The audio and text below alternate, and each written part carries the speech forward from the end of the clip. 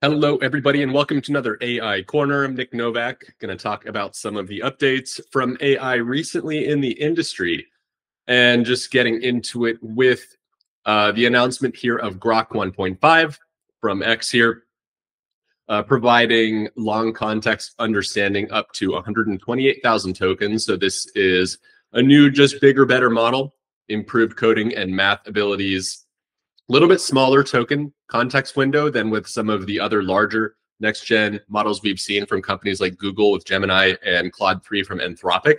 This one will be available on X soon. We also have reports of Stargate. This is a project, a supercomputer project that is reportedly being started through co collaboration between Microsoft and OpenAI. And this project is estimated to be quite large. The projected cost of $100 billion.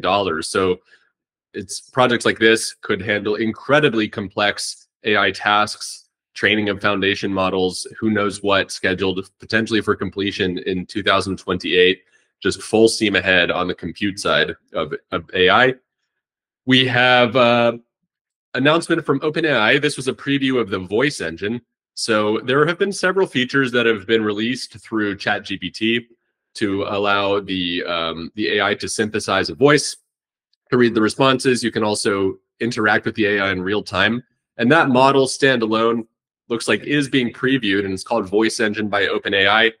Very, very realistic voices that are created from just a 15 second audio sample and then can generate natural language speech that really sound quite human like from that text.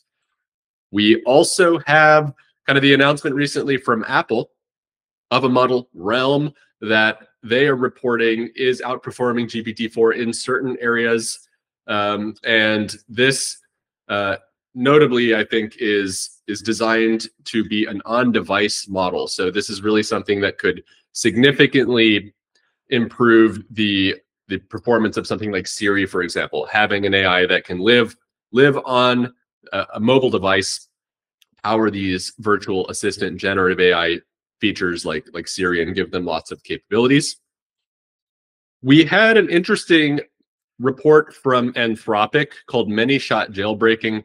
This is a security issue that they released. They're actually publishing publicly and they gave a kind of like a pre-release to all of the other AI companies that one of the new advancements in LLMs has seen the context window really grow from uh, at the beginning it was like 2000 tokens was all you could get. 100,000 token models were released.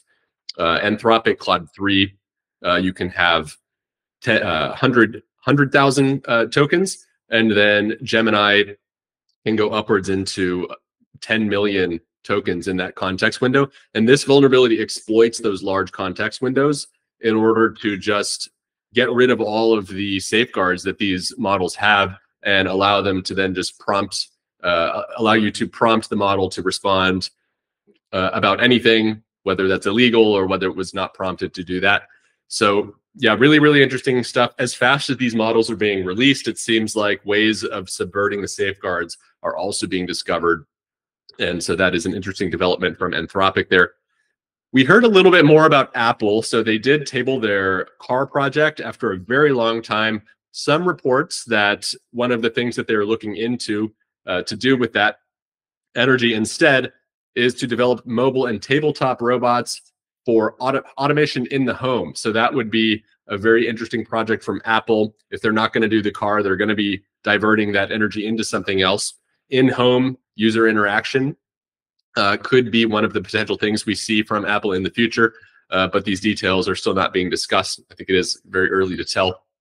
And uh, we have uh, some reports that the the OpenAI, not reports, rather OpenAI did release an expansion to their custom model program. So this is an enterprise feature set uh, that allows customers to work with OpenAI to create custom trained models for their use cases.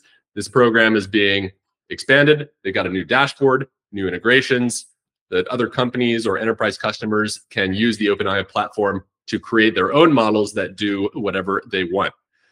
And then we saw the release of Higgsfield, Higgsfield kind of coming out of stealth here after a long time to create a text to video model. We saw with Sora, one of these uh, text to video models that was amazing was was announced by OpenAI. This looks to be a little bit of a competitor to that, focusing on uh, creating social media content where you can upload a profile picture of yourself and it generates kind of these um, cartoony or uh, you know re realistic caricature like shareable video content that is personalized to your uh, to your profile pictures and can also create just really high fidelity video from text. So more players here entering the text to video field here. And then lastly, we did have the release of Stable Audio 2. This is the next generation uh, model of Stability AI. It is available now. Can generate audio tracks up to three minutes long. And interestingly, other uh, unlike other models we've seen uh, recently with the release of Suno V3, which is also a very high quality audio text to audio model. Stable Audio 2 has an audio to audio capability. So you can upload a audio clip, a song, and then prompt it to alter the quality of that song, potentially adding production, um, you know, effects to it, or even changing the genre of the song. Really interesting tool sets being released there. And that is all that I have for the week. And I'll see y'all next time.